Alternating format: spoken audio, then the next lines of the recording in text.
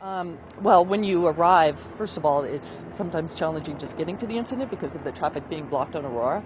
Um, once the firefighters were there, we actually do a lot of training in this particular area. So we had multiple firefighters there on scene. We have a total of almost 90. We called in mutual aid. We've got help from Shoreline as well to help with our transportation. So some of the challenges is just the, the pure immensity of the incident and the amount of uh, people that need our help simultaneously. The majority of the critical incidents uh, or the patients were on the bus. My understanding is the two fatality were two people that were on the charter bus.